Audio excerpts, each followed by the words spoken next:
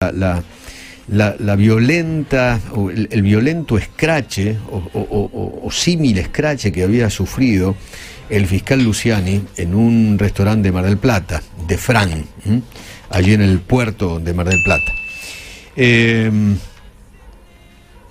Ayer yo estaba haciendo zapping antes de dormirme. Yo, la verdad, a veces veo cosas antes de dormir que no debería ver. Porque después no dormís o tenés Y pesadillas. claro, es higiene de sueño, de verdad. Sí, sí, no, no, no hago la higiene de sueños, parece.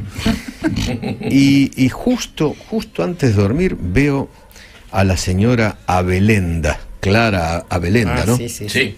La pareja, la, quien estaba con Artemio López, la pareja. que fue la, la- la violenta escrachadora, ¿m? la que se comportó como una violenta junto con el otro violento, Artemio López. ¿m? Artemio López escribió en Twitter, tiene una cuenta que es arroba lupo55. Escribe, ¿cuánta indignación noto en la derecha neoliberal cipaya? Ah, miércoles. Ah, la pelota. El título. Vintage. Tremendo, ¿no? La derecha neoliberal cipaya, dedicada a defender misóginos y apretadores por Luciani. Y hacerlo además en un país donde celebraron el intento de magnicidio de la vicepresidenta. ¿Pero quién? Dan náuseas y claro que son vomitivos. No sé de qué se indignan. Sucede lo obvio. Perdón, eh, Artemio.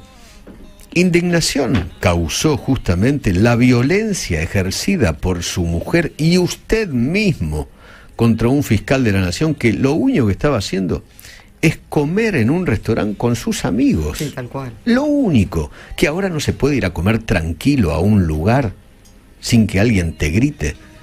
¿Cómo puede ser? ¿Mm? Solamente alguien que fue a disfrutar con sus amigos una comida. Escribe Artemio López, más allá del anecdotario típico de una sociedad polarizada, sé fehacientemente que Luciani agredió verbalmente a mi mujer. Al revés, señor. Dios mío. Al revés. Bueno, así hacen todo, así cuentan todo. Claro. Al revés, señor violento. Al revés. Bueno, fue al revés.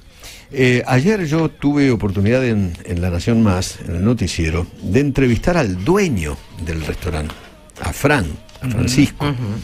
Y él me contó exactamente lo que nosotros habíamos contado, que el agredido fue Luciani y que varios de los comensales lo aplaudieron a Luciani y dijeron, bien Luciani, seguía haciendo lo tuyo, etc. Y que en ningún momento nadie, ni Luciani, ni nadie del entorno o amigos de Luciani agredieron a esta mujer, sino todo lo contrario. Pero les puedo hacer escuchar lo que dijo Clara, lo A que ver. dijo esta señora Clara ayer Sí. en la televisión. A ver. Yo les pido por favor, no se maten de risa. Se los pido por favor. Es serio, ¿eh? Dale. hablar con él. Yo quería hablar con él. Porque algunos dijeron, no, quiso pegarle. No, yo quise hablar con él. y, pero no me escuchaba, entonces le dije, pero ¿usted no tiene miedo que la, que la historia lo juzgue? Y ahí se dio vuelta. ¿Eso le dijiste? ¿No lo insultaste? Pero por mis nietos que no lo insulté. Por mis nietos. La historia lo va a juzgar, le dije. Entonces el tipo se da vuelta con una cara de asesino y se me viene encima, pero acá se me puso, diciéndome, a vos también te vamos a juzgar. Y repetía como loco y cada vez era más fuerte. Tan eran los gritos que pegaba Luciani que yo sentí que una mujer atrás le decía, loco, ¿qué te pasa? Loco, ¿qué te pasa? Después resulta que esta, esta señora, era una chica joven, pensó que era un amante despechado, me dijo. Me vino y me preguntó, pero ese fue, no lo conocía Luciani y me preguntó si era mi amante. Entonces yo en broma le dije, sí, lo cambié por, por este gordito lindo que tengo al lado, que es Artemio López. Ay, Dios mío. ¿Vos te das cuenta? Esto es cierto. Es un paso de comedia esto, ¿no? ¿Esto lo dijo en la tele? Esto ocurrió en vivo en la televisión argentina. Dándole cámara a una persona violenta. Dios mío. Es una cosa muy impresionante. Que para nada, mío. que para nada fue un escrache, que fue un exabrupto de Luciani hacia ella, que ella le, le decía al periodista, vos me ves a mí, yo soy una abuelita, vos ves a esta abuela escrachando a alguien, una abuela, soy una abuelita, tengo nietos. Y habla de una violencia machista, de Luciani. Por Dios. A quien le- esta señora le, le gritaba desaforadamente, me dan ganas de vomitar, sos un hijo de puta. En otro momento, en otro momento, ayer en la nota, eh, ella cuenta que yo le dije, quiero vomitar, me provocó ganas de vomitar. Me- tal cual como cuando yo veía a los militares. Vos fíjate, vos fíjate la cabeza de esta señora, ¿no? Me dieron náuseas ver cómo insultó a mi reina, ¿Cuál es su reina? Cristina, Ah, Mi reina. que él no, vio- pensé que era inglesa la señora por ahí. que, que ella vio, le dieron ganas de vomitar cuando lo vio, porque ella recordó la imagen de Luciani cuando insultaba a mi reina, dijo. Ah. Insultaba a mi reina. Y, y lo, lo más cómico es que ella decía, tuve náuseas y ganas de vomitar y seguí comiendo.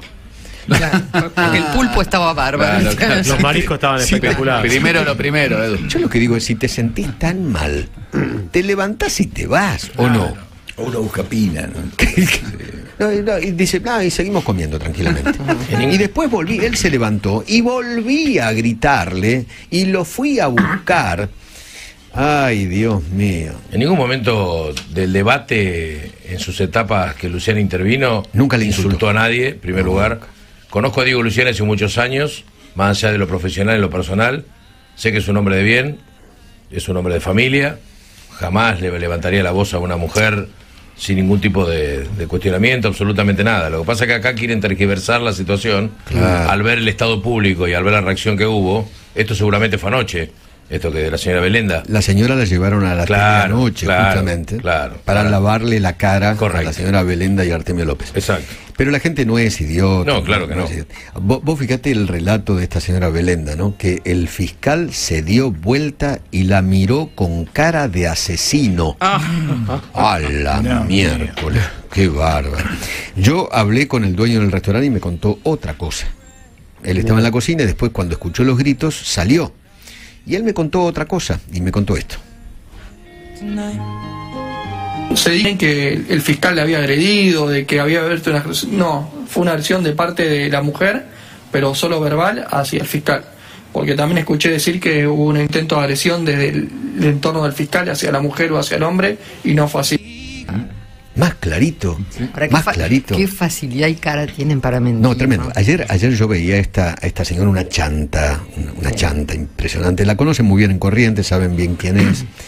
Vos sabés que en un momento ella dice, eh, me dijo, a, a- a- a vos también te vamos a, a juzgar. No es eso lo que dijo. A ustedes también la historia los va a juzgar. Eso fue lo que dijo el fiscal. Eh, y ella lo sintió como una amenaza.